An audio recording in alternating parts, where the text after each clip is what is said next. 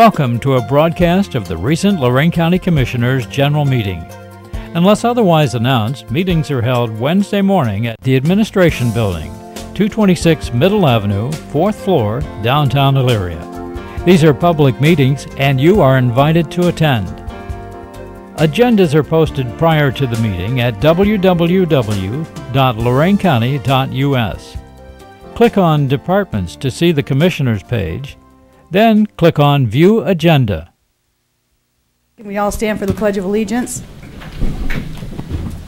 I pledge allegiance to the flag of the United States of America and to the republic for which it stands, one nation, under God, indivisible, with liberty and justice for all. Good morning, everyone, and welcome to the April 25th meeting of the Lorain County Board of Commissioners. Commissioner Kalo has our dog from the kennel today.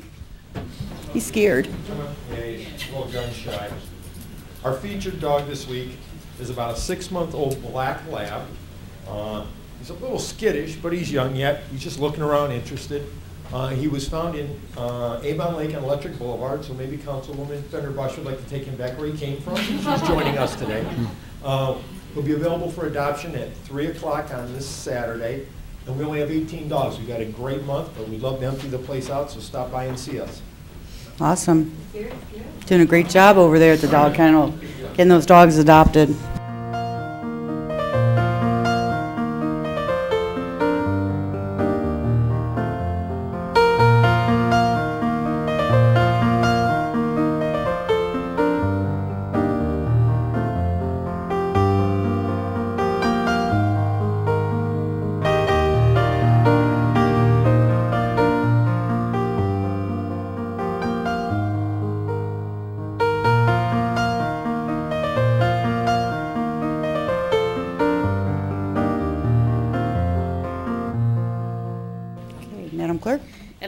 11:15, we'll have our final special purpose flood damage reduction resolution hearing.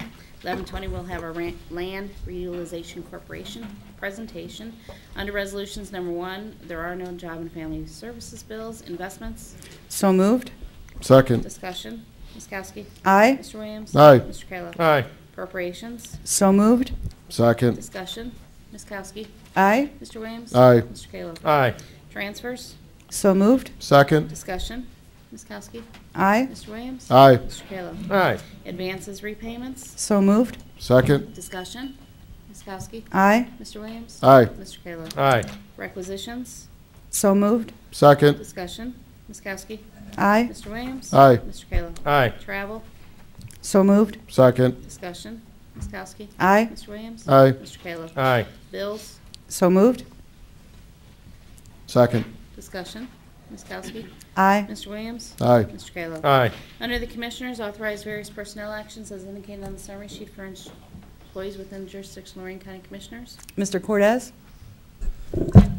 Actually, I do have a number of issues, uh, especially since last week we didn't have a session since the the president was uh, in Lorain County for a visit. Uh, So I have some uh, personnel actions um, with regard to solid waste, job and family services, um, Golden Acres, and possibly, uh, no, that may be it. So uh, those are some potential new hires. Um, One is a uh, discipline.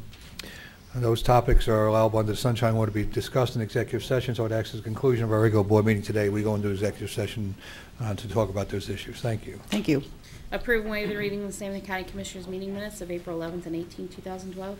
So moved? Second. Discussion. Ms. Kokoski? Aye. Mr. Williams? Aye. Mr. Kalo? Aye. Approve the course of renewal effective May 1st, 2012 through April 30th, 2015, the amount of $867,716. So moved? Second. Discussion. Ms. Kokoski? Aye. Mr. Williams? Aye. Mr. Kalo? Aye. Under the engineer, war contract to Precision Paving Myland in the amount of $181,375.10 for Baumhart Road resurfacing project. Ten birds were opened on April 17th, as being the most responsive complying with specifications. Work is to be completed by November 16th and will utilize American Roadway Logistics, Inc., National Land and Power, Inc., and Wealthy, Inc. as subcontractors for the project and no substitutions. The estimate was $201,812.70 to be paid 80% federal and 20% OPWC. So moved. Second. Discussion. Ms. Kokoski? Aye. Mr. Williams? Aye. Mr. Kalo? Aye. Authorize engineer to execute contract being prepared by ODOT with Bramhall Engineering and Surveying Company, Avon, to provide construction management services on Station Road resurfacing project, Columbia Township, in the amount of $229,404. Thirteen statement of qualifications were received and will be paid 80% federal and 20% OPWC. So moved. Second. Discussion, Ms. Kokoski? Aye. Mr. Williams? Aye. Mr. Kalo? Aye. Under probate, adopt probate court credit card policy and authorize Judge Walther and Court Administrator Darlene Chapman to utilize the county's Lower Met issued Visa credit card not to exceed 7500 for the year 2012. Said usages for work-related expense, food, transportation, gas and oil, motor vehicle repair maintenance, conference, telephone, and lodging. So moved. Second. Discussion. Ms. Kokoski? Aye. Mr. Williams? Aye. Mr. Kalo? Aye. Under the Sheriff, authorize Lorain County Sheriff to apply for grant monies through fiscal year 12 Byrne Memorial Justice Assistant Grant to purchase 2012 Chevy Caprice Police Package Vehicle. This request is based upon a mutual agreement with the cities of Elyria and Lorain. Ohio Attorney General certified a disparate allegation claim, and neither the city nor the county would receive any monies until agreement was approved. Therefore, the allocation of funds will be split as follows. Elyria and Lorain will receive $19,408.67, and Lorain County will receive $19,408.66. So moved. Second. Discussion, Ms. Kokoski. Aye. Mr. Williams. Aye. Mr. Kalo. Aye. Mr. Cordes, County Administrator.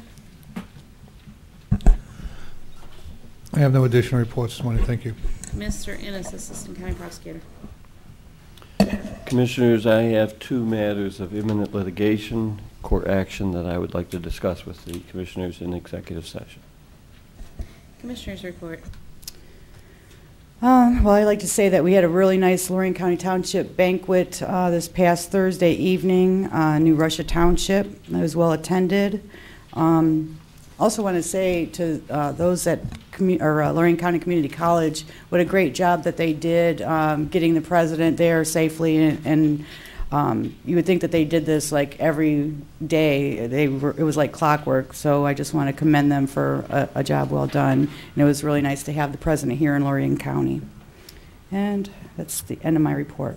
While you're doing that, thank the city of Elyria with their police department and all the mutual aid to get it Mhm. done also. 'cause I'm Yes, sure everybody together Mayor did a Brinda great was all over the top of that. Yep. Uh, Busy week. Uh, We received a letter from the EPA, Ohio EPA, and they have instructed us to go ahead with our solid waste management district plan. It's been ratified, and not any changes of really any sort whatsoever, so we got the plan all done. Kudos out to Brian Parsons from Avon, who's the chair of the solid waste uh, committee, advisory committee. Did a great job getting this all together, so we're moving forward on that.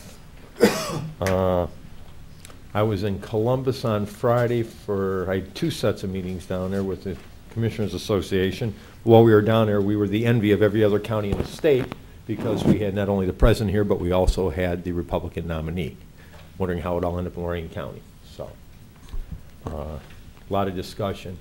Uh, In regards to our meetings, uh, we had a lot of discussion in regards to what's going forward with workforce development. That's one of the major issues facing counties and the state of Ohio is getting qualified workers for the companies who need them. There's been a lot of issues with employers that they have jobs out there. Uh, We just don't have people to fill them. So after our normal board meeting, we met with uh, people from the state and actually our committee asking for changes to Senate Bill 316 in regards to how counties will work in regards to the lo- local workforce dollars because there's a new workforce transformation that the governor is created to streamline from 77 entities down to 13. So we gave a lot of suggestions how we'd like to see things changed, and that's through the Education Committee right now. And uh, the vice chair is actually Senator Gayle Manning, so we've been in uh, communication with her, and uh, Senator Lehner, who's the chair of that committee. Uh, Also, like to congratulate Leo Citro. I was at the Learning Veteran of the Year dinner. Leo's been a great guy in the community throughout the years. Congratulations to him. Uh, We also had the Hispanic Gala. They did a great job putting together, as always, with their conference. Uh, The Investment Advisory Committee met yesterday. Uh, We're moving forward with the county treasurer and the IAC to give the treasurer the ability to uh, do long-term bonding on local projects. Our first one's going to be a highway project through our motor vehicle and gas tax. I'd like to thank the treasurer and Dennis Jacobucci from our uh, investment consultants for helping us get through that. That's in light of House Bill 225 finally going into effect last month. So if there's any communities out there within our county who have dedicated revenue streams of projects, we have the ability to do financing at market rate for you. So please look at us also. Um, And last night, I attended the Addis Dinner, Alcohol, Drug, Alcohol and Drug Addiction Services Dinner, Elaine Georgas's event, who at the same time her husband was going through the cash mob at the Garden Basket, was packed on my way trying to get to the college. Uh, And I got a chance to sit and have dinner with the director from the state of Ohio, Orman Hall. Uh, We had a lot of lengthy conversation about public services and state cuts. Uh, We found some common ground to discuss. So, busy week and working on land bank forever and ever, so that'll be our next conversation.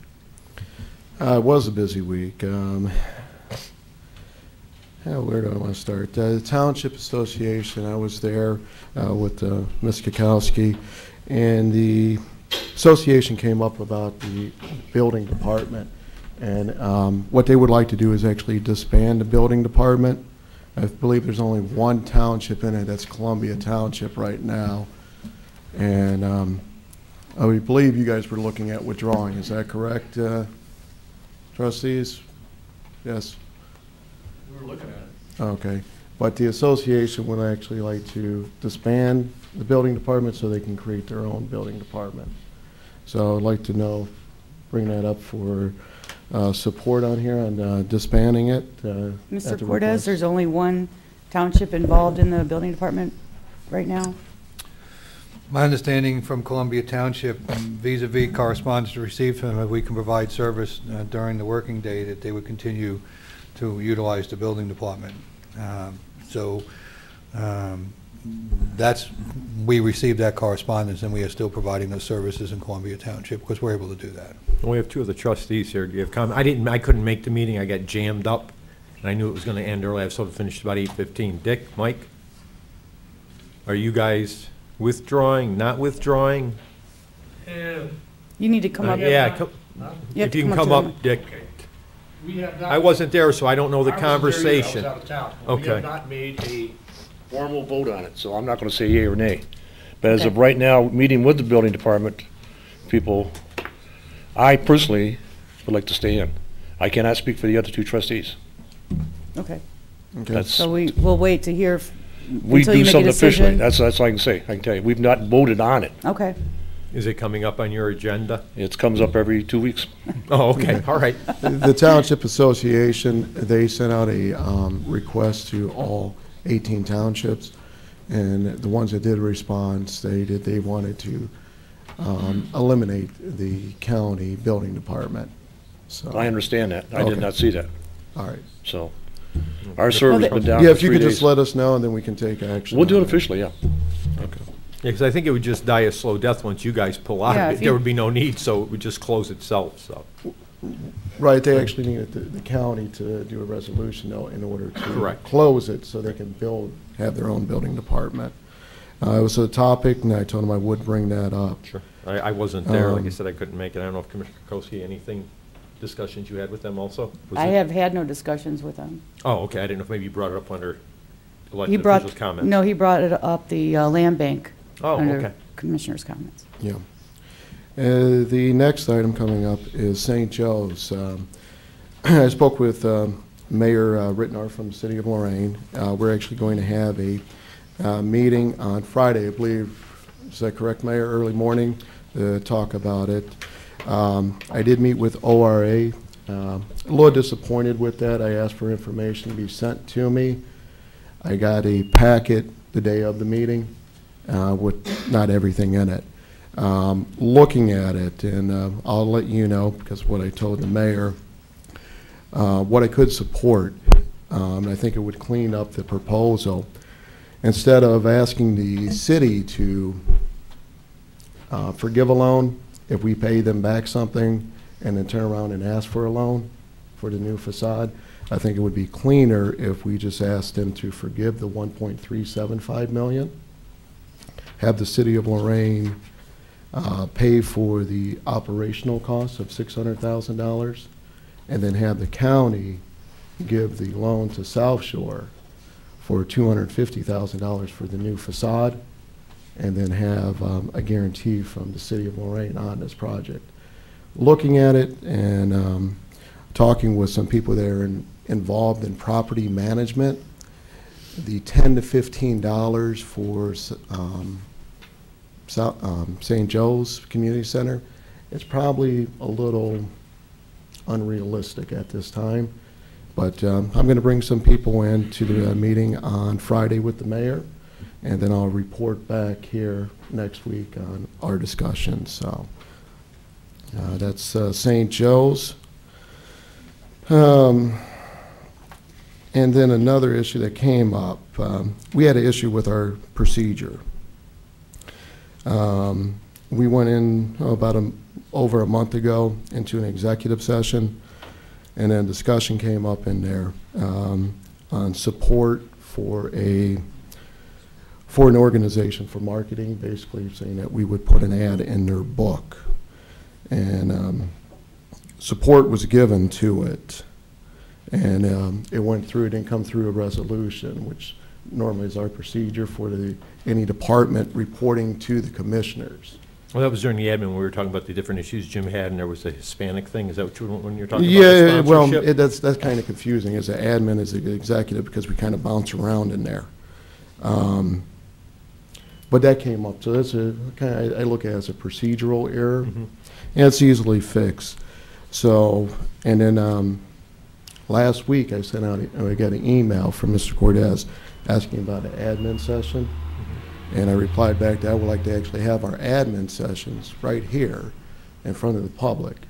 Uh, Reporters can be here and we can do our business here since it is public business, instead of doing it during the executive session in the back hall, you know, with the um, security code um, on there in order to enter the room.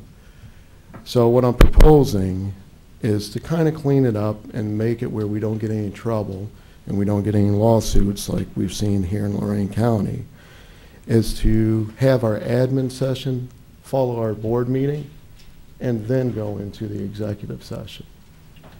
So if people who are here for the meeting, if they want to stay and hear public business and hear what's going on, because that's really where the meat and potatoes is of our meetings, they could stay here, listen to it, and then, um, then we would go into our executive session. I have a problem for that if the administrator says we need an admin session. Okay.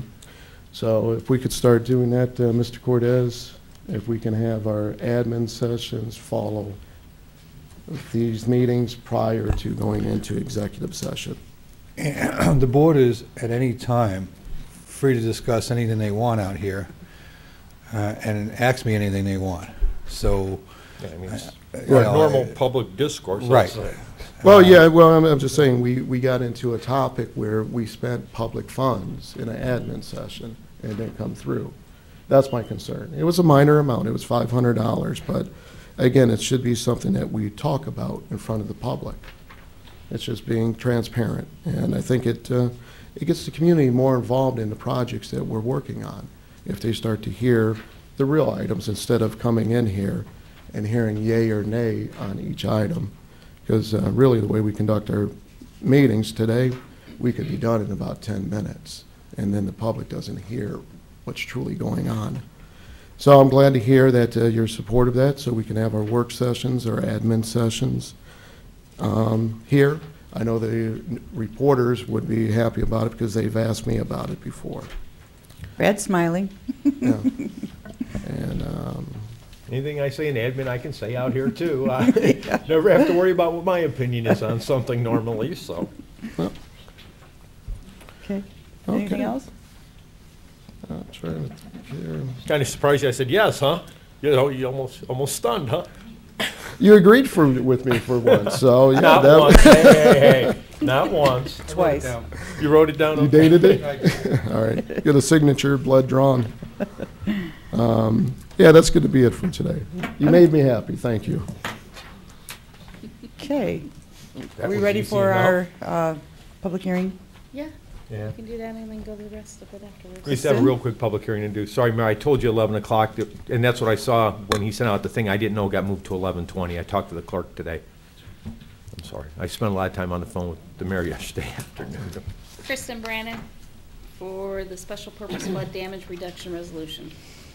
And Morning, I Christin. promise I'll be quick. so. Okay. Good morning, Commissioners. We're here for our second public hearing for an amendment to our special flood hazard area redu- dam- flood damage reduction resolution. We have received a request from the Ohio Department of Develop, or uh, Ohio Department of Natural Resources to update Section 6.3 of our resolution. This has to do with violations and penalties of work being done in a flood area. There are three changes that they are recommending. The first one is that we remove the classification of offense as being a minor misdemeanor. Now it will be a strict liability only. The, they also recommend placing a cap on fines of $300 per day, which is not in our current resolution. And they also recommend that we add a statement to provide for the repayment of court costs and expenses involved in a case when it does go to trial. So those are the three changes that we are recommending at this time. Okay. Do we open it up for public? Anybody from the public wishing to address this issue? Seeing none. Uh, Commissioners, any questions? No? Jerry, do we, No, it's- It's just a procedural thing Okay. that's, um, okay, make a motion to close the public hearing? Second. Ms. Kokoski? Aye. Mr. Williams? Aye. Mr. Kalo? All right. Do we need a motion? resolution to amend section 6.3 of the flood damage reduction resolution. I will make that motion. Second. Discussion, Ms. Kokoski? Aye. Mr. Williams? Aye. Mr. Kalo? Aye. Thank you, Christin. Thank you. Okay, now, Land Bank. Thank you, Commissioner Kokoski. Uh, Today, we're going to talk about the land bank. Uh, It's been something that this board, in different versions, has worked on for over two years.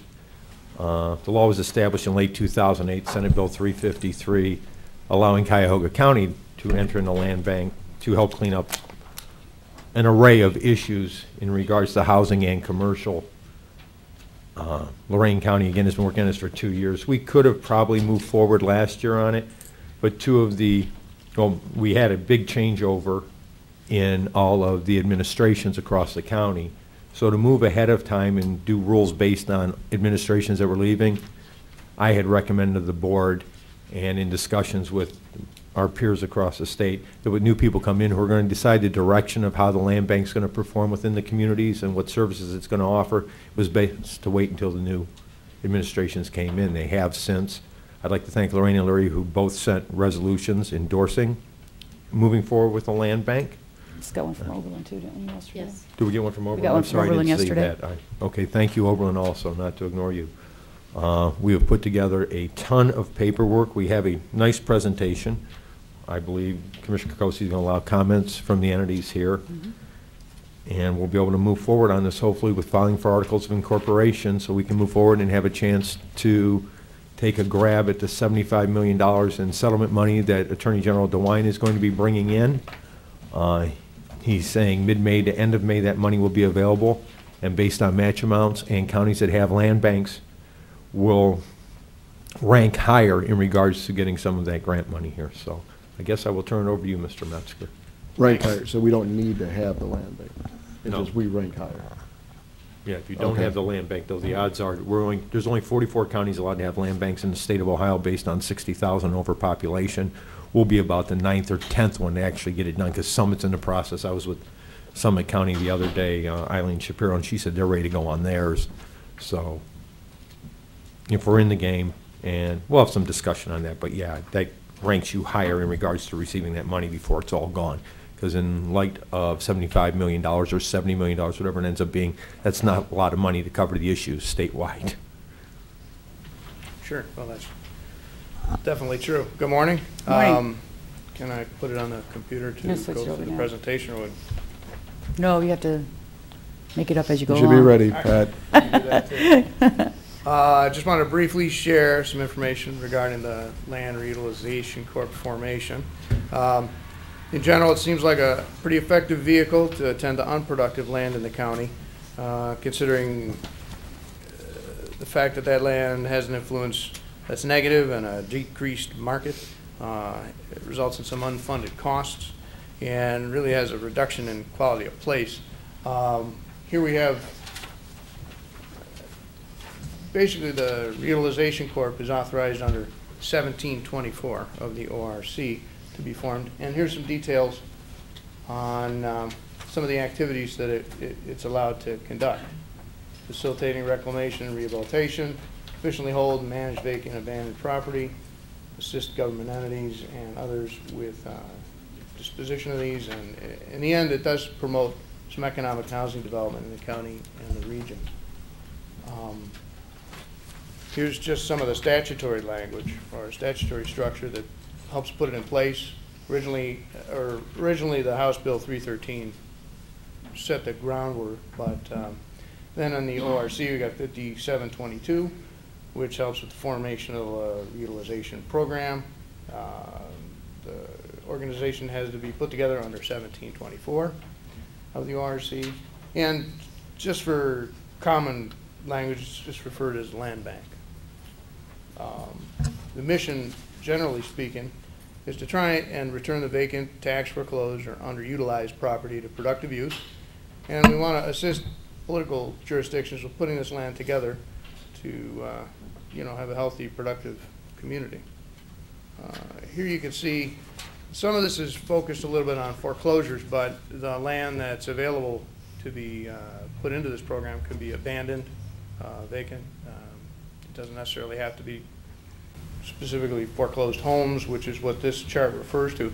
And you can see they've been with us and are are a consistent issue throughout at least the last decade here. It's dropped off a little bit in the last year, but I, I'm not sure how, you know, whether that's just a processing issue or not. But it did spike in seven, eight, nine, and ten, and those are some significant reasons why we want to attend to this. Um, like I said earlier, some of the effects of foreclosure, but also vacant and abandoned property too. Uh, we have some likely impacts. You know, it's an increase in abandoned vacant stock. It's really a decrease, causes a decrease in the value of surrounding homes, unfunded costs in municipal services. There's increased costs to other property owners. You know, it depletes the market potential and decreases the quality of place again, like, like we said. Uh, Some of the activities outlined under 5722 are to allow the acquisition and holding and disposition of tax delinquent, foreclosed and abandoned property. And they're pretty thoroughly defined in sections .02 through 10. Um, Ultimately, the property emerges with a clear title, it's free of lien, and uh, encourages better marketability and redevelopment. Um, If these properties linger over a long period of time, the law provides for public auction over, after 15 years. So then you can dispose of your inventory. Uh, And again, some of the reasons why an LRC may be needed uh, is that the underutilized land, it demonstrate, it it demonstrates increased unfunded costs. Uh, There's presently really no broad-based coordinated effort to marshal resources to address the problem. And it's a continuous, remains a continuous drain on local taxpayers and communities. Um, Formation steps are fairly uh, forthright in the law, uh, although there's some back and forth that needs to be done. The first step really is that the Board of Commissioners creates by resolution uh, an LRC. Um, Following that, uh, the Board of Commissioners would request the treasurer to create and file, or create articles of incorporation. And once they're accepted, then they're filed. And the commissioners then would uh, pass a resolution defining the board of the LRC, which can be rolled into that initial setup uh, resolution that you would do as well. This is a chart that you've probably seen in other presentations, but it really gives a good ladder diagram of how the process flows. And uh, I think it flows a lot more smoothly than the chart looks. Um, The board structure itself is set under 1724 of the revised code. Uh, Required members are the county treasurer, at least two commissioners, representatives of the largest municipality, And then uh, it requires that one of the representatives on the board have uh, real estate experience, and I think we could find that pretty easily. Um, Board responsibilities then following are to create a land reutilization plan. So there's got to be some, you know, cohesiveness to it. Uh, It's going to create and approve governance and operations, the basic business uh, undertakings of the organization. Um, Naturally, it's going to develop a conflict of interest policy, uh, provide notice, is responsible for providing notice and entering an agreement with county officials, so there's some interchange with the board. And then uh, it may contract with a third party under assignment uh, for a scope of services for effectiveness or at the board's desire. Um, Part of the land reutilization plan ought to be, it seems, to establish programming activities that uh, address blight and nuisance abatement, housing and econo- economic development, and there's some broad authority under 1724 as a special CIC to engage in these activities. Uh, Again, the plan wants to put, wants to put the uh, purpose and mission of the reutilization corp in place and give it some structure, and then outline the implementation activities to achieve the mission back to the start. Here's an example of one of the missions we, which seems, seems to work. It's general, it wouldn't necessarily be our mission unless the board uh, wanted to make it that. To promote and facilitate the reclamation, rehabilitation, and reutilization of vacant, abandoned, tax foreclosed, and other real property in the county to the fullest extent possible within the legal and fiscal limitations applicable. That's a good coverall, but you may, you know, you may want to edit that. Um, Specific activities can be purchase and receive, hold, manage, lease, lease purchase, or otherwise acquire and sell, convey, transfer, lease. That, that whole list is, is, uh, I don't think it's necessarily exclusive, but it's a good sampling of what we can do. And again, another uh, purpose is to purchase tax certificates at auction, negotiated sale, or from a third party who's a holder of the tax certificates. Um, That's a little more complex and you know, you can see that. Uh, There are various sources of funding that are allowed by law for this. The primary is uh, penalties and interest on delinquent taxes and assessments. Secondary, um, as a property would come through the program, it's uh, either rehabbed or demolished or repurposed in some way. Then the proceeds of that can roll back in to help with funding. And there's other options that, that are you know, grants, credits, tax increment financing, I mean, those are, those are available, but more complex again, uh, requiring a little more broad base. Some useful outcome, outcomes we've identified already, uh, first and foremost is demolition, because I think that may be, uh, really on the slate. Uh, we can hold for strategic assembly of land, for economic development or other purposes. Uh, Park and green space creation, we can We can create uh, agreements with responsible developers who've been vetted appropriately to uh, put this back into the marketplace and make it productive again, which is the goal of the program. Sell the neighbors for side lot yards, uh, facilitate cleanup urban garden, gardens is always a, you know, is always an option too.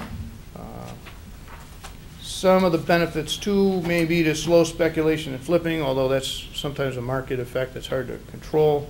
Uh, it can contribute to stabilizing housing and tax bases, improve quality of life, advance urban and land use planning, and uh, we always like to have economic development as a, as a focus there, because that really is part of the, part of the program.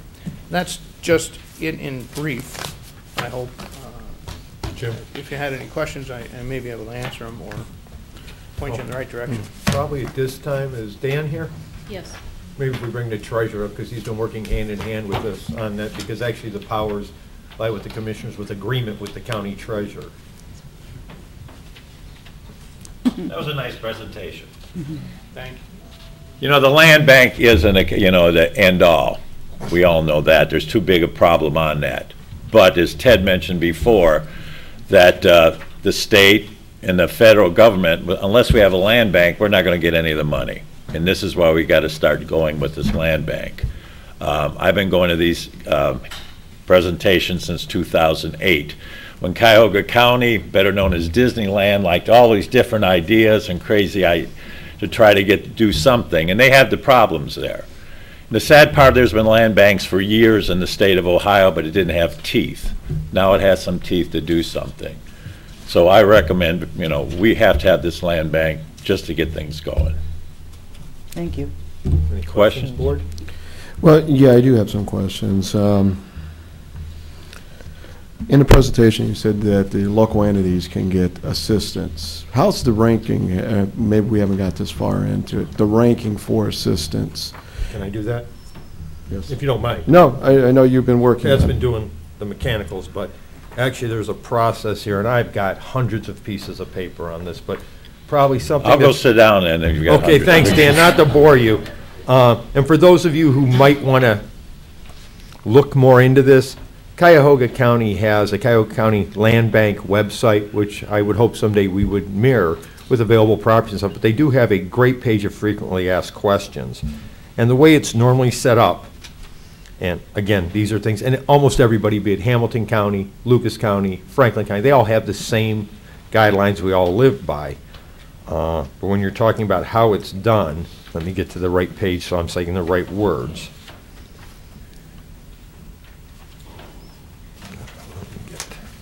Again, sorry for the, getting the right pages. Uh,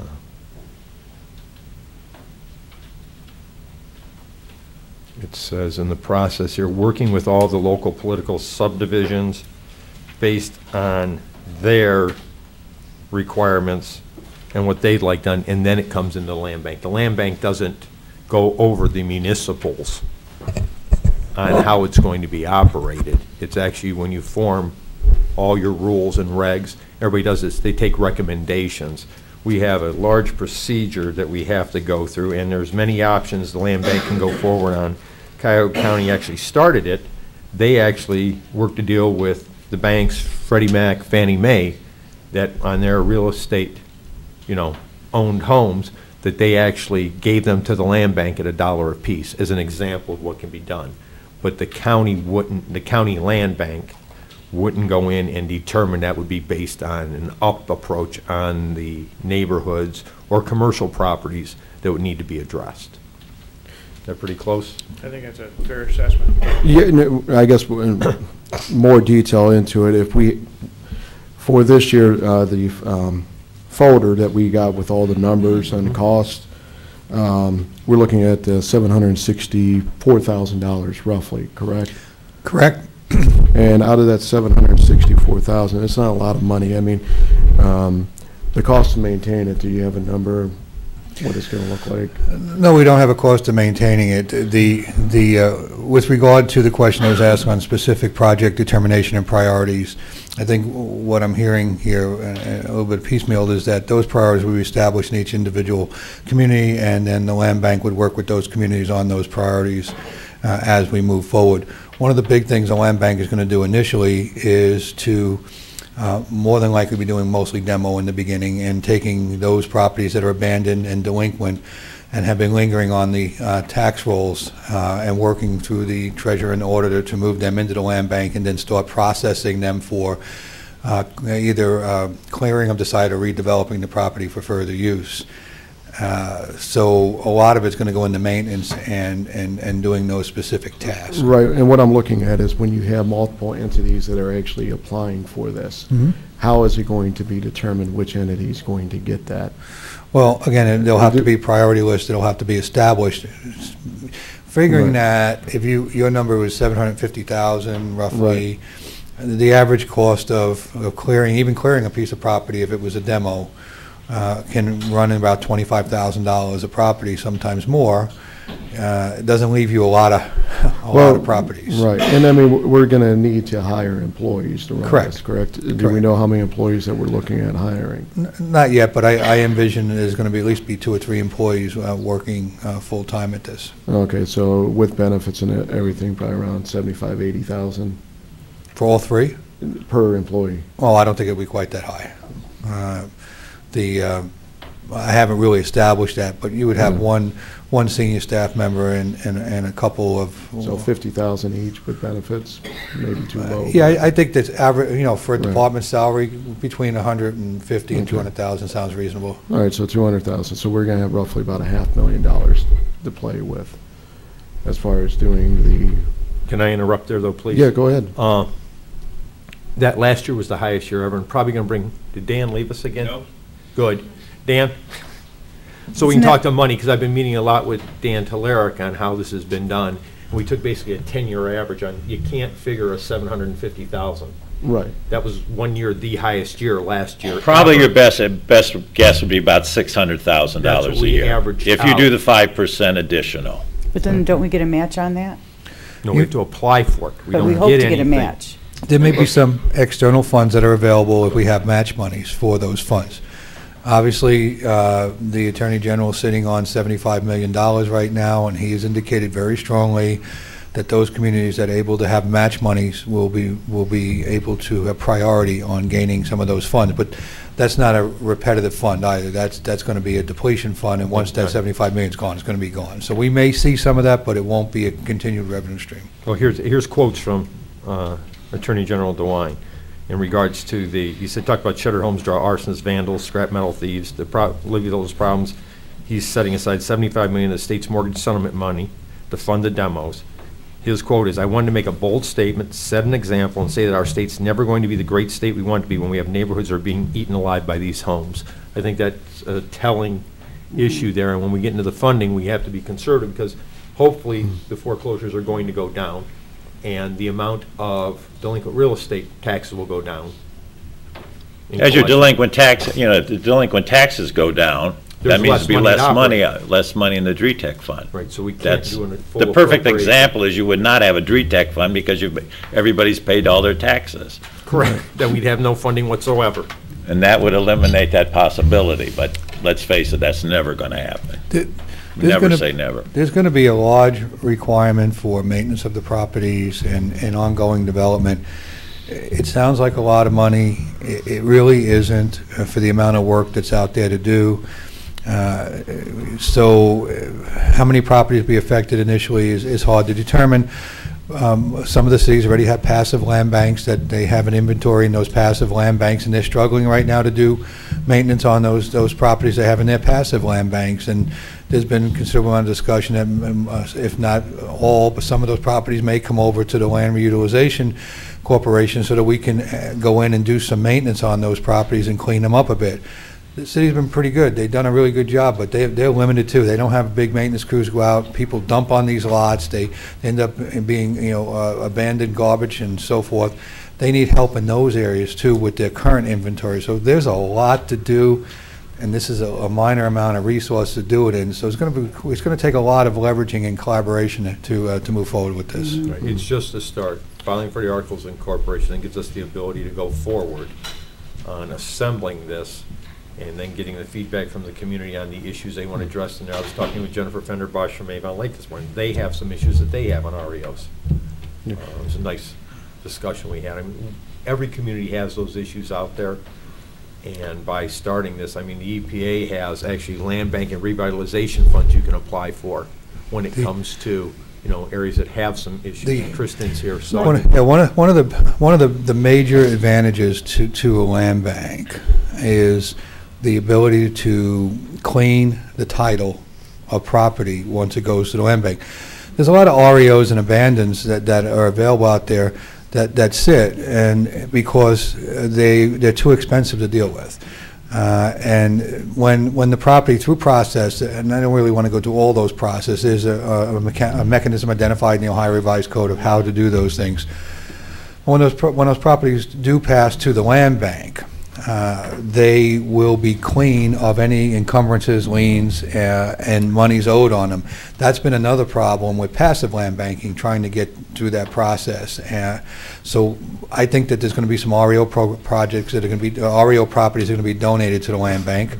I, I think that there's going to be more forfeit, forfeitures of properties that are non-productive and just too expensive for, uh, say, a land, an absentee landowner to, to maintain going to the land bank. The potentials for the things that can be done are huge, but it's going to take, it's going to take some time. Uh, But it's the only mechanism to give clean title to the property uh, would be through utilization of the land bank. Well, With, um, the county cannot use CDBG funds for the city of Lorain and Elyria because they're entitlement cities. Um, But can the city of Lorain contribute to their CDBG money to the land bank? to Commissioner, I, I, I'm sorry, was there, uh, I see the land bank working in collaboration to the initiatives that are already underway, not replacing the Okay. initiatives that are already underway. And, and that's where the collaboration and, and specific sitting down with each community and doing programming together is going to come in. Uh, The, the cities have struggled, but they, they've been, they've been combating this now for some time. And what they need is they need another tool. And they need the land bank to become partners with them so they have more tools uh, to go out and combat the problems with, with blight and unsightly properties. uh, And in some of our, uh, our bigger communities, you know, crack houses and abandoned properties that become magnets for all kinds of illicit activity. So I think together, they're going to leverage a greater outcome. Uh, The one concern I do have is schools. They're, they're going to be the ones that are going to be hit the hardest with this. If I'm looking at this right, uh, City of Lorain schools, and I hope you talk to the um, school district on it, about $61,000 for 2011. City of Lorain Schools would probably be the largest uh, uh, amount of money that would go into the land bank, that would be redirected towards land bank issues from payouts, yes. All right. And Uh, this I is not, and this is not touching their tax, you're not touching the real property tax. It's the five percent of the penalty and the interest, so they're getting all their taxes. This land bank doesn't take the taxes due them, it's the penalties and interest, five percent of that amount. Right, to- but To th- fund that- the land bank. But they get, they would get that money. i- If they didn't have the land If bank, we they didn't would have have mon- got that. right? If we're going on a 10-year average, that each community, whether it be the Lorain Schools or Wellington Village or the city of Elyria or the city of Lorain, you're going to lose if you go to, take it up to 5% an additional delinquent for the, for the DRETAC, 0.18%, one-fifth of 1% they would lose, but they're going to gain in the overall. Right. Right. And And to tell you the truth, you know, I, I understand you want to defend things with the schools, but, you know, a lot of times the schools, I know they're out there fighting, hiring attorneys to come to the Board of Revision, to, you know, to try to keep the values up. You know, that's money that they spend. This is money that's going to help them out, increase the values of the, uh, school districts. Because the number one issue, as the county treasurer, that I feel, and as a, as a, uh, citizen of Lorain County, is we got to get rid of these houses. These houses are all over the county, whether they're in the southern part, northern part, west, east. We got to get rid of those houses. It will bring the values up of the whole neighborhoods. It'll stop, there's going to be a reevaluation of property next year. We all know that's probably the value of Lorain County, the whole, whole county itself is going to go down.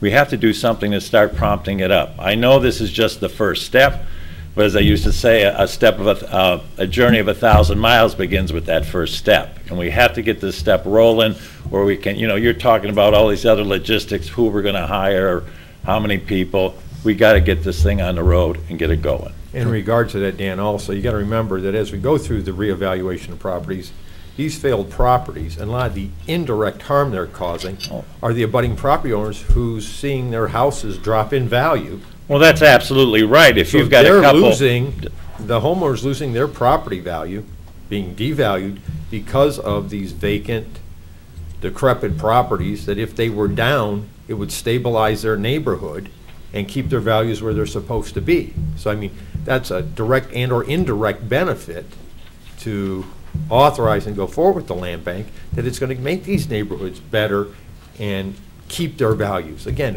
who wants, to- if you go to some of the neighborhoods around the county, and you've got four foreclosures sitting on it that the bank won't let go or won't move forward on, the taxes aren't being paid, the houses are in disrepair, who's gonna go pay market value for a home that's up for sale there from a single-family homeowner? It doesn't happen.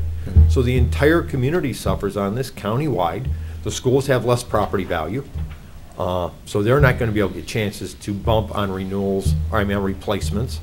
I mean, it, it just covers such a large gambit of the problems within Lorain County. I mean, we're no different than a smaller Cuyahoga or a smaller Hamilton or smaller Franklin. We have those problems. We have the wealthier outer rings. You get to the inner ring, it's suffering, but I've yet to see a company that moves to this community who doesn't have residents from all communities working at their facilities.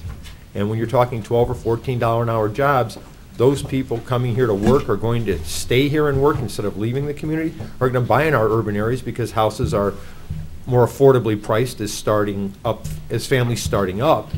And then they move into the better homes as they establish themselves and get raises and improve themselves.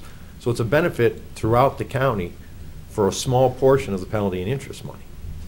Yeah, the only thing I'm looking at is just making sure that uh, everyone who's aware and who's going to reduce, lose a small percent is aware of it. I think throughout the county, everybody's aware that we've been talking about land banks for a couple of years, and everybody, school districts especially, are aware of it, and they didn't come here to argue with us at IC. Uh, I think it was more the government officials who are interested in how this is gonna happen, because they're gonna be major participants in how this is gonna go forward, whether it's Avon Lake or North Ridgeville, Lorain, Elyria, the townships. Yeah. You know, buildings, Dan and I were talking this morning, I mean, you may have an old barn that kids are vandalizing and are partying all night out in the townships, no clue, might be under foreclosure. This can all end up in land bank and clean up your area, rid yourself of some crime and nuisance and vandalism. I mean, there are just the benefits that this can do, all kinds of opportunities for Lorain County, every part, and all we need is the direction from each political subdivision on how they like to see that done. And I'm Not just going to emphasize this again and beat it to the ground. This is for Lorain County. It isn't for one specific. It's an advantage to Lorain County, period. Absolutely. The sad part about it's got to be funded, and everybody, you can't have the, you know, everybody wants something, but it costs. And unfortunately, this would be a tremendous advantage. Over the years, this is going to, that $600,000 we're talking about is probably going to just increase the the values of the property throughout the county. It's going to, it's just going to bring more revenue in, in the long run. That's my thoughts on this. You have to have seed money, and Yeah. that's going to start it. I mean, right now, we're looking at, at the six hundred thousand dollar rate, take out, uh, people we're gonna, um, have to pay, it's about sixteen homes a year. At, uh, Mr. Cordes's rate of twenty-five thousand. That I, So- Yeah, Again, I, I just took an average on, on demoing. A lot of these properties are going to be older. There's going to be mitigation issues with regards to um, uh, lead-based paints, uh, possible asbestos, uh, and, and could be other things. Also, you know, a few, a few items of, of interest are, the land bank is not strictly uh, restricted to residential property. It can also be used in um, uh, commercial applications. So uh, if it grows big enough and it's managed properly and it can develop additional revenue streams from the redevelopment efforts, uh, there could also be work with the downtown uh, folks uh, towards uh, doing some issues with redevelopment in the downtown areas. And the land bank is also given the authority to borrow and leverage money. So depending on the, um, the average amount of money that would be collected, using it as a uh, revenue stream, it can, it can be, uh, uh, borrow money against that and, and leverage those funds to do larger projects initially. Uh, So clearly, it has some abilities that are not possessed by the passive land banking uh, regulations that are out there right now for our municipalities. Uh, And, and the tools that are going to be provided through this legislation will really amplify those uh, uh, abilities they have now. Yeah, We we can also contract out with um, companies who would go in and take apart a house that they can use materials to uh, recycle, like bricks and, you know, different things like that, which would reduce Sure. the amount of um, I would s- demolition. I would see the, I would see the reclamation uh, issue as part of, uh, and right now, there's a lot of reclamation, reclamation going on uh, when demo work happens. When most people bid their demo these days, uh, they're, they're looking at the potential of uh, reclaiming uh, certain um, hardwares that are, seem to be a very hot mar- market these days. Plus your, your, your coppers, aluminums, uh, those things that can be scrapped. So th- there's, there's a lot of things that can be built into that, that can, can generate additional uh, uh, cost constraints for demolition of the property. And of- and of course, some of the properties may be used as side yards uh, with adjacent property owners. Uh, There's, there's some potentiality there that could return the property to a revenue uh, uh, uh, source for the municipalities or school districts or those affected. You know, it's not just municipalities, school districts, it's libraries, It's townships, uh, villages, uh, anybody that has a little piece of the pie is, has a vested interest and is going to be putting skin in the game to see if we can improve uh, the housing stock here in Lorain County. And if we start tearing down houses, people who have some of these houses that they're just sitting on just might get the idea that maybe we should fix them up. That might be another incentive. One question, Cheryl? Yeah, just one question before we open it up to the floor. On the, the board members, and that, I know we talked about this, and I think it's be good for the public to know. um, It's going to be the largest city, which would be the city of Lorain, so the mayor, Chase Ritenauer, uh, Ted Kalo, myself, and then Lori Kokoski would be sitting on as the uh, realtor experience, and then the treasurer, is that correct? Well, that would be the first form of it, that was put up in discussions based on other models to get it up and running. Right. The board by law can be five, seven, or nine members. But in this case here, moving forward with the five members to start it up, to get it going, it can always be reviewed, revised, changed, it's a government entity, so. Okay. All right, let's I've had those talks, actually, uh, Mayor Brinda has been very active in this. I mean, she ran on it last year and talking about the need for this and stuff. That'd be Dan, I, she could be our alternate and, Mhm. you know, attend the meetings for that point. They're all public meetings anyway. Absolutely. So, and then the board, once we get this structured and going into what kind of money, what kind of impact it's gonna have, the board, there also can be a township, rep- by code says a township representative, if there's more than ten thousand residents in a township, we don't meet that qualification. So, so they weren't ignored. I just want to bring that up so everybody was aware of. And Carlisle's our largest, and Barry, what are you, about nine thousand? Seventy-five, okay, all right, then, but the code does say if you have a township over ten thousand, it shall sit on the board. Right, and with the townships, they equal about fifty-seven thousand. I know we talked about this, um, if we did go to a seven-part, um, panel, uh, possibly bring in the Township Association President, Correct. uh, to sit on the board, so he could represent all the townships. So, And I think that's once we get this up, Articles of Incorporation, and figure the funding, and meet with all the communities on how they want to go forward with it, figure out what kind of dollars they're going to have, and apply if we can do any bonding out based on revenue stream and/or the grants that are available to figure out what kind of impact we're going to have within our communities. I said, this is a startup.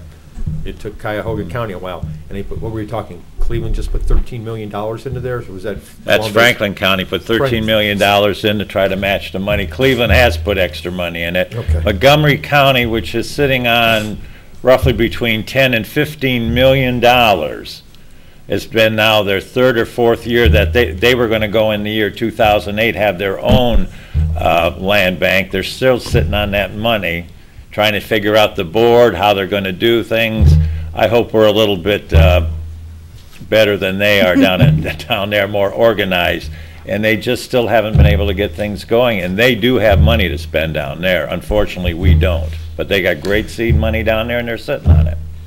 There- And we need this to be done. There- There's several ways to get into the game faster with regard to funds. Now, now clearly, um, that fee has to be done by code of the boards, and we're not pr- uh, ready today with those resolutions, so we're anticipating what that um, uh, increase in the DRETAC fee may be, and, and that's still going to be open for your consideration at a future board meeting.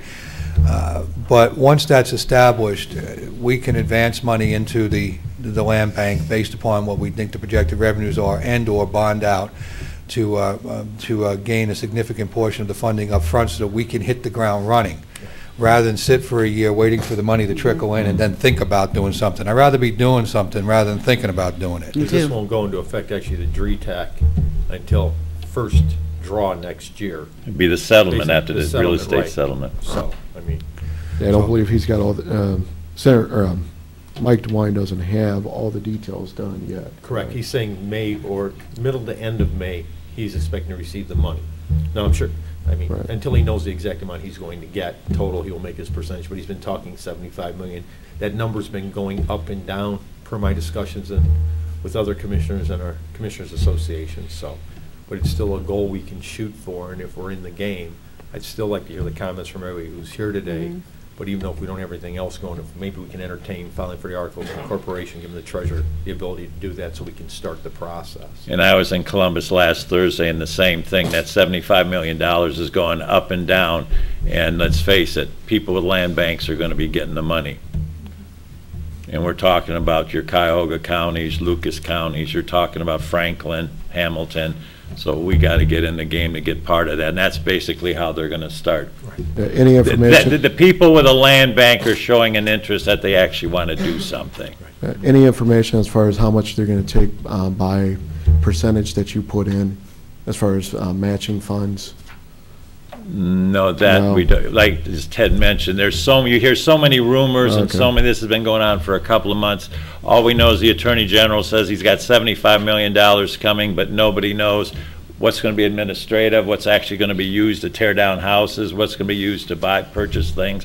So it's still kinda all up in the air yet. They don't know all the parameters of how that money's gonna be spent or how it's gonna be dished But out. the way he's saying it, he keeps talking about the demolitions as a priority. That seems to be the number one issue, Right, that correct? seems to be the direction they're going in, and I would hate to not be in that flow of dollars. No. That's why everybody's going on, someone's getting ready to do theirs, Franklin just got theirs, I mean, that's why they're moving, is because that ability to chase those dollars, and I would hate Lorain County to miss out on that opportunity. True. Me too. Let's open it up to members of the audience. If the, one of the, both mayors want to come up and, More than both, We got all kinds. I warmed it We up. got for. North Ridgeville. Mm-hmm. Who else? Morning, Holly. Is it Good morning, afternoon? It's afternoon. Good, is that what it is? It's It hard to tell what it is. Well, uh, thank you uh, for the opportunity to speak. I appreciate it, Commissioners. Um, Let me first say, I applaud you for advancing this conversation because I think it's critical to our county. We all know what kind of impact uh, foreclosures have had on our county, uh, both residential and we have some commercial um, foreclosure situations in the city of Elyria that can also benefit from this. Um, I won't re, uh, revisit all the benefits. Um, We're also looking at, in the city of Elyria, obviously demolition is at the top of our list as well, so we are in agreement with that priority. Uh, We have about 300 properties, both residential, and- and certainly I, I also, again, am about being expedient with this. I want to position our county to receive the money, um, but having the commissioners, having three seats on the initial seat, and with the, with the openness of potentially uh, expanding the board, um, I agree with, but I, I- obviously I prefer um, the original incorporation process to include an expanded board. And, and really, the reason is that as we develop the memo of memorandum, um, and um, memorandum of understanding and go through the process of incorporation, uh, we do have an opportunity to have some dialogue that is going to set the stage for a strong foundation. The city of Elyria would very much like to be part of that conversation. Um, We're going to be looking at the required legal process and framework to create the nonprofit. We're going to look at the required commitments and funding mechanisms. Uh, We're going to be looking at components of a memorandum of understanding that includes the protocols for priorities for acquisition and uh, disposition of tax foreclosed and other properties, process for the maintenance, rehabilitation, and demolition of those structures, and presentation of cases to land banks in various communities. And there's going to be decisions related to how those priorities are set. There's also going to have to be a conversation about how to support this land bank. And, and Mr. Williams brought up um, uh, dollars and cents issues associated with supporting the land bank. Please keep in mind um, that I think a- an important part of the incorporation process that could benefit from an expanded board is looking at the current assets that are in place in the two largest cities and, and our townships and other cities in the community. We have community development departments, uh, we have economic development departments, and because we are so committed to this process and we think it's so important in both of our cities. Um, I, I can't speak for Lorain. I'm sure Mayor Ritenauer will do that very well for himself in a moment. But for in, on behalf of the city of Elyria, we're very interested in ent- entering into a conversation with the county where we might be able to share some resources to minimize those those staffing costs and maximize what we already have in place. So I would just make a case for um, moving expediently, um, but also potentially opening up that initial incorporation process to include some others, because I think you might find um, that it in fact strengthens the, the original process and puts some resources in place that you might not otherwise have. Thank you. Thank you, Mayor. Uh, Would you like to uh, take that under consideration now? I mean, with 300 vacant homes right now, I, I wouldn't have a problem with uh, expanding the board to seven. We don't have to do any board work today, Tom. Well, That's, that's all gotta be discussion, that's why we're having open discussion. of homes and commercial Right, exactly. Right. Oh, you're, that's your homes and commercial properties, okay, Right. thank you, Mayor. Right now? Chase Ritenauer, 2515 Garfield Boulevard, Lorain, Ohio. And I won't, uh, I I think we've we've had a pretty good discussion uh, summarizing some of the the benefits of the land bank, and Mayor Brinda certainly brought up uh, some good points. To give you an idea, in the city of Lorain, vacancy right now, uh, we're we're approaching 1,000. In fact, some estimates around 1,100. And the real scary part is that with the settlement that the banks entered into, now that they've entered into their settlement, there is the notion of this shadow inventory that exists, and foreclosures are actually going to increase because banks are going to be more active in going after them. And uh, some of our estimates have that number going up to 1,600 at the end of the next four years. So this is an issue that is going to continue to be an issue, and I, I firmly believe, and I'm happy that uh, Lorain City Council unanimously supported the creation of this Land Reutilization Corporation because of that. And it's not just a Lorain or an Elyria issue. It its impact reverberates countywide. Um, there are so many cities and so many uh, entities that are having problems uh, with vacant property and abandoned property. And you know, a street with one vacant home, that vacant home reduces property values. A street with multiple vacant homes renders those properties worthless in many cases. And people are trapped in their neighborhoods. They're not, you know, the, the notion of buying a home as an investment, seeing that investment bear fruit. It's not happening. And I think it really is the issue of our time right now because the housing industry, in my eyes, is so tied to our economy. We've got to do something. And I would agree with the treasurer. This is not an end all. This is not the the uh, you know the, the only solution and the way that, that things are going to completely turn themselves around. But it is a step in the right direction. And you know, with that, I would say, uh, in terms of the money going into the land bank, there are other ways to generate revenue. Uh, some counties that have land banks have agreements with some of the lending institutions who just want to rid themselves of these properties. They will put the property into the land bank and come into an agreement, uh, memorandum of understanding in some cases where, you know, between $3,000, $3,500 and up to $8,000 will follow that home into the land bank for the cost of maintaining it, the cost of demolition, the cost of rehab.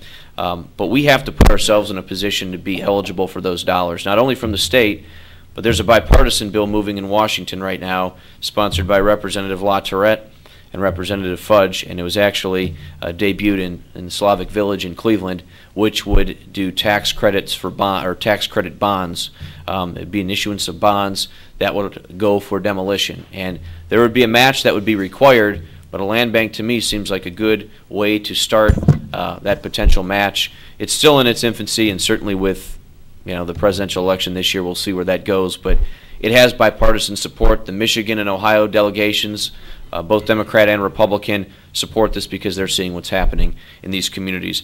I'll end my remarks on this. I know, Commissioner, I certainly uh, understand your concerns with uh, the funding and the dollars available in the land bank, which is why I'd like to uh, reiterate what Mayor Brinda said. The City of Lorain is willing to uh, dedicate some of its staff to helping manage the county land bank. Um, we believe it's that important uh, to do. So if there are ways we can help to mitigate costs, we certainly are willing to do that and want to have that discussion. And I'd also um, agree with Mayor Brinda in the board composition.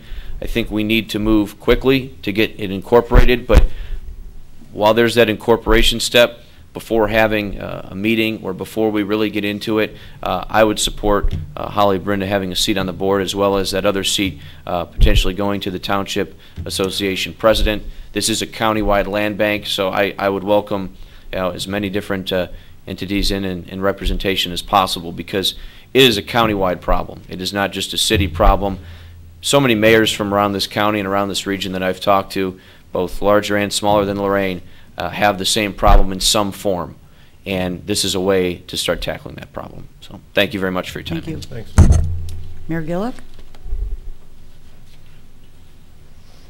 Thank you, Mayor. Mayor Dave Gillock from North Ridgeville, 7307 Avon Belden Road. I appreciate the commissioners taking a look at the land bank, and I think it might be, might be a tool uh, to have in your toolbox that can, can benefit especially Elyria and Lorain, the dev, the, the devil's always in the details, though, and That's where I have questions about uh, how it would function. You're already talking about issuing bonds and borrowing money. No, the possibility of. Mayor. Or the Nothing- possibility possi- of. That, that's allowed under land bank. I legislation. understand it's allowed, but my question is, number one, where, who is standing behind those? Is it the land bank or is it the county? Uh, and then what happens, uh, seven hundred thousand, six hundred thousand dollars in a, in a situation like this isn't really a whole lot of money. If we start issuing bonds or borrowing money and the debt service becomes somewhat burdensome, then what happens? Well, how do you pay the debt service? Are we subject to an assessment, or are we going to do something different with the, uh, the DRETAC funds? Uh, I have questions from the numbers I've seen. It looks like uh, our schools would uh, uh, probably be, lose about eighteen thousand dollars a year. That's, that's a lot to our schools. Our city may be seven thou, or seven thousand. That may not be a big deal.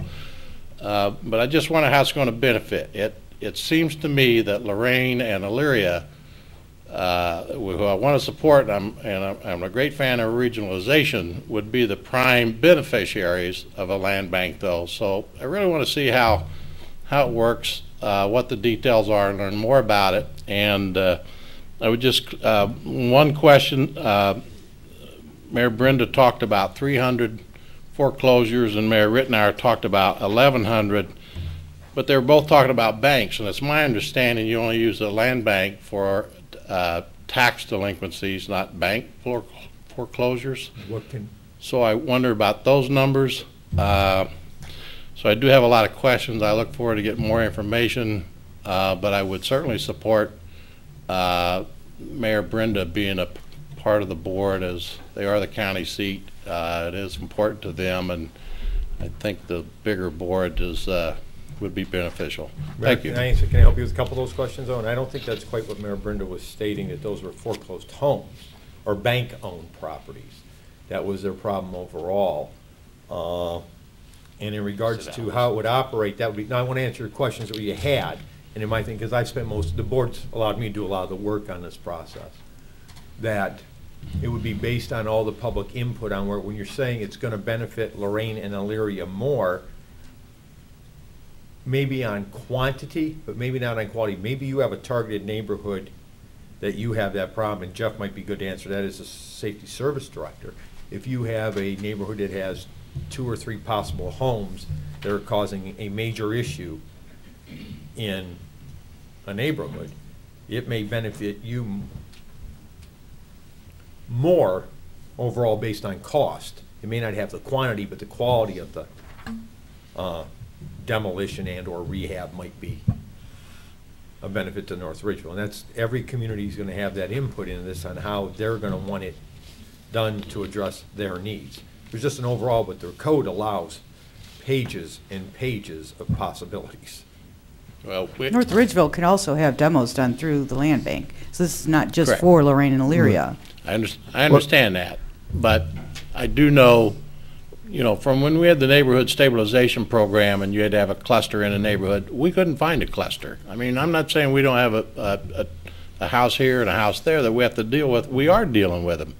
Uh, you know, you mentioned the number of twenty-five thousand dollars to demolish a home. We're doing one this week and the number is estimated between fifty and sixty thousand to take that down, not twenty-five thousand. So that's, six hundred thousand may not go as far as you think. You know, Commissioner Williams was talking about sixteen homes, it might be eight.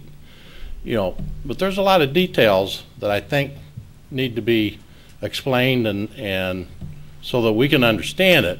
And I certainly, I think, you know, we get rid of a lot of these old homes, it's gonna benefit the county.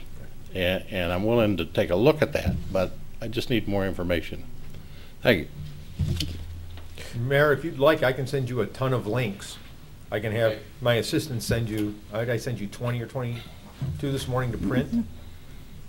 Uh, y- You know, another thing we could do is actually, ha- Jim, you're supposed to get uh, some information on the number of homes possibly affected in the county, right? Right, I mean, there was a couple issues that, that the mayor raised. Um, uh, One of the things that we quickly looked at is the availability of abandoned properties that are already on the tax rolls that could be uh, processed uh, through the mechanics detailed in the Ohio Revised Code.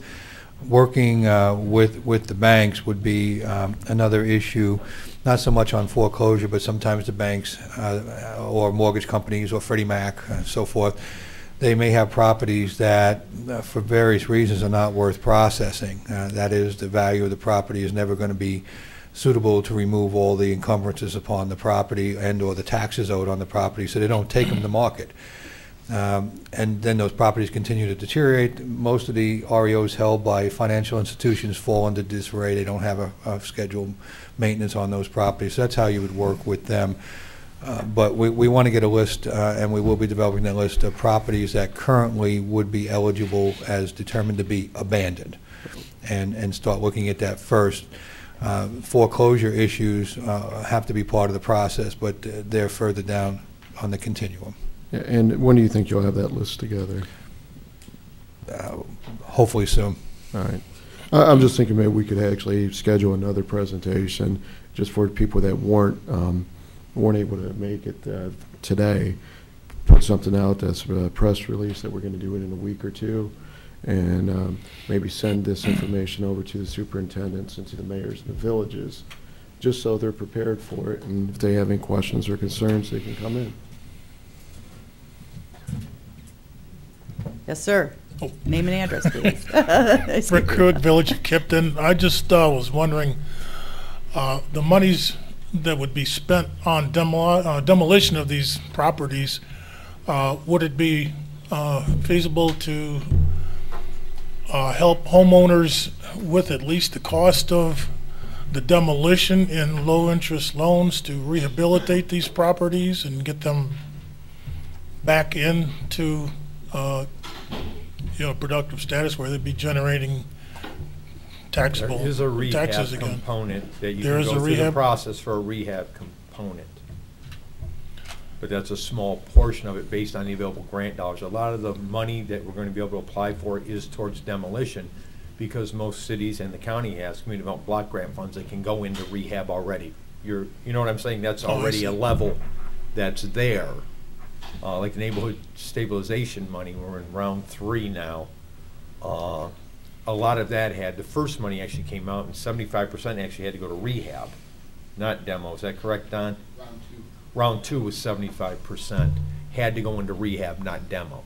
So I Okay. mean, there's already those type of programs out there. From So the why county? duplicate it? Oh, I see, okay. I Yeah, don't know if Kipton, those- if there was an issue, we would come to the county community development block grant and be applied for.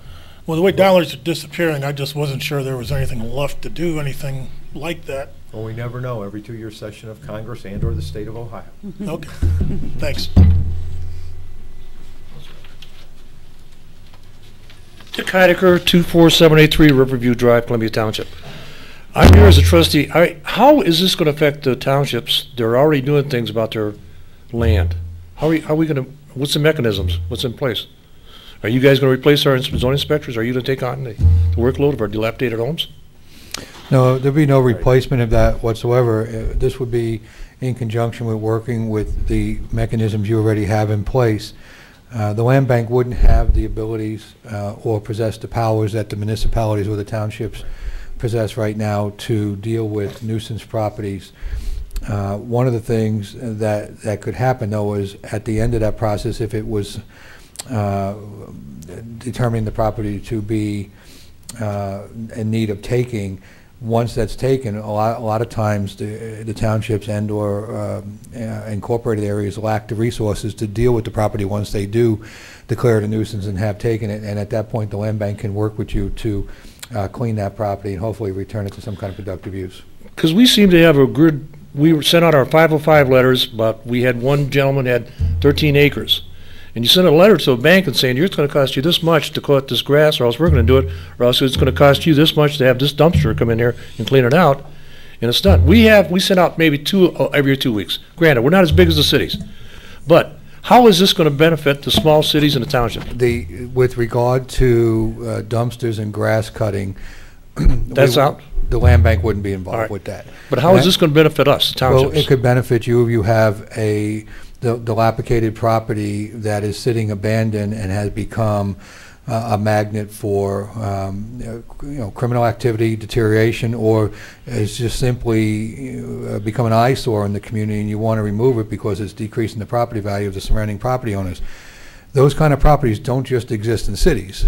I, I see them This is all why throughout, throughout the community. Uh, they're, they're a little bit less prevalent, I, I give you, in the Right. townships, but they, but they still happen. And, and if you want to have those uh, removed and demoed and have those properties become productively used, this will give you the tool in the township to do that. So we, we would have to apply for a grant to have them taken down? Well, you wouldn't apply for a grant. You would work on, uh, with the land bank to see if possibly the, the property was abandoned. If it wasn't abandoned, then you would work with your health department and zoning to have it declared a nuisance, and then either the property could be taken or it may be donated. There's a lot of times when there's out-of-county property owners that have received the property through a family, they live in California, they're not prepared to deal with it, it sits Texas, on the yeah. road, Texas. Right. Uh, So we could actually work with them. Not all property has to be done in taking. Another thing that a land bank can do is it actually can purchase property, and it can either rehab it or clean the site. Now, those are things that, after the land bank's running further down the road, are going to be looked at. But uh, you may have an out-of-state property owner that really just, you know, will take a very low sum of money to, to get out of the property. The problem is they can't get out of the property, maybe I'm going to make you laugh now, because you guys tell them they now owe you $12,000 for mowing the lawn and doing all that for them, and which needs to be done. But in order for them to get out of the property, they got to find that money. So we may be able to go in there and convince them to either donate or sell it at a very low cost to the, to the land bank, and then work with making the, the township whole. The- So the in other words, possibilities are any- endless. anytime we do any grass cutting or garbage pickup, we put it on our taxes, it will not affect this land bank. We'll It still will get not our money. affect the land bank at all, sir. How's that? The rules changed as, I think, January 1st, 2012 was the full-blown, that's why everybody's starting to get it going. Okay. There, there was a test period, let's say, would probably be the easiest way to talk about it, to let that get started. And now they've gone through that, and they were, that's where Cuyahoga came up with, let's talk to Fred, Freddie Mac and Fannie Mae, and they do the properties at a dollar. I mean, there's just a world of things to do out there. And every land bank, with all its partners, has to craft what's best from the township, the village, or the city to address each need based on the amount of money we have and what can get I- I- accomplished. You've answered all my questions. I really do appreciate it. Okay, You know, great. I- Thank you. Thank you. Dick, I would also add that one of the advantages is this is a little bit more permanent solution. You know, Sometimes the excellent. townships come in and clean stuff up or Well, You know, do how you stuff. you hear things, and I just want to come and it here. and here. reverts, so that this allows it to be addressed at a more permanent uh, basis. Good afternoon. Jennifer Fenderbosch, Councilwoman for the City of Avon Lake, 150 Avon Belden Road. And I think this is really a creative tool. I'm very familiar with what's going on in Hamilton County and how they have utilized this. And, and I agree with, uh, with what has been said before, that the devil's in the, in the details. And one thing that I think would be very appreciated by the townships and the other cities would be to um, put together a bullet point list after this meeting as to what is expected and what is needed from the municipalities. Because as you said pre- previously, there's going to be a priority list that will be put together by the county commissioners. However, the municipalities and the townships will also need to be going through that process. Can I answer that before you go any Yes, sir. We can't do that till we actually form the land bank board. Today's meeting. Is to form the land bank board. No? Today's meeting is to give the county treasurer the ability to file for articles of incorporation so we can establish a land bank. It's a process we have to go through. The funding issue is another one. The board makeup is another one. The public meetings that we have to have, and then all the meetings once, whoever's gonna operate that, because a not-for-profit, and the Hamilton County model, which you said, put theirs in their port authority, because they have bonding power, they have some Mhm. flexibility, it's a great place to park. I hope that's where ours ends up at, that's based on everything I've done and I've shared with my commissioners and talked about. I think Hamilton County is our best fit, something similar to theirs. Then we can start prioritizing and go through how we're going to do it with each community. The Township Association might decide to do it as a township association and prioritize all their needs based on their meetings. Uh, Avon Lake may do it one way, uh, Mayor Gillock from Ridgeville, and not, everybody's gonna have their own ideas of how they wanna be participants in the land bank. So I, this meeting's about moving forward to file for articles of incorporation, not to confuse anybody. Everything else is discussion points. Okay, well, part of my discussion points I wanted to make was that Little Avon Lake, um, at this point, the schools would be giving up thirty-seven thousand eight hundred and fifty from the paperwork that, that you're, that you were able to give me, and I appreciate that. Um, the, city would be giving up sixty-one twenty-two, which is only, it's five percent, so that the, um, city and the schools would still collect in delinquent they would still collect the tax, they just wouldn't be collecting the five percent because a 5% would be going into the land bank. Um, As all of you know, coming down the road, since there are discussion points, you know what's going to be happening at Avon Lake and the changes that will be occurring along the shoreway. And um, I was happy to hear that there are um, industrial and commercial properties that can also be placed into this land bank, and that they can be held, they can be cleaned, so that it's not just cleaned, I would believe, of tax liens, but also cleaned with EPA issues turning brownfields into greenfields. EPA has it, I stated that earlier, I actually That's have a correct. cover sheet for that, and for those of you who don't know what she showed, it's the CEI plant.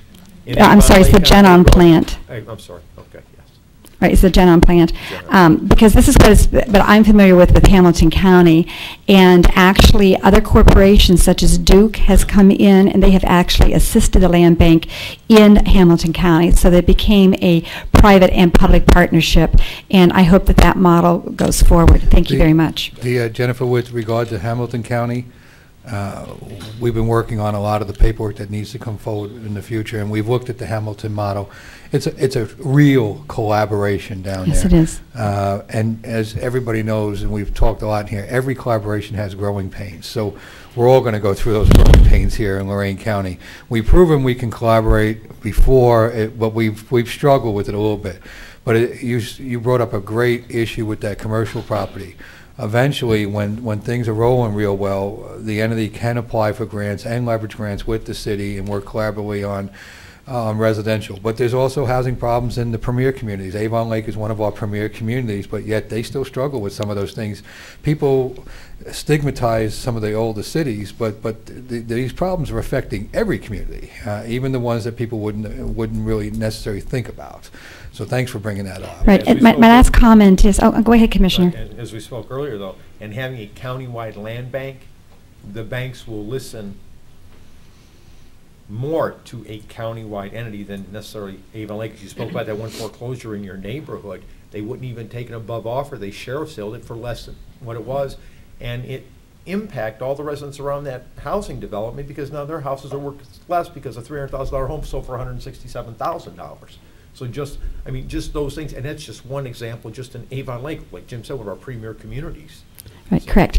And, and just, um, my final comment is, is that I agree with the other speakers that it would be great to be able to expand the board to seven. Thank you so much. Thanks, Jennifer. Anyone else? Nobody? Well, I- Close this and then. This isn't an open, this is just a, Oh. it's not a public m- meeting, hearing necessarily. I do have a question from the board.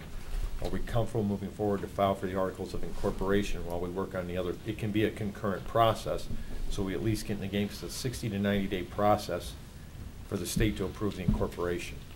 I'm ready to move on that. Yeah, I wanted to go through, I just Go got ahead. the information la, or last night, and then I got the, uh, all the details, uh, this morning around ten twenty, I believe, so I would ask for one week, know, just review it.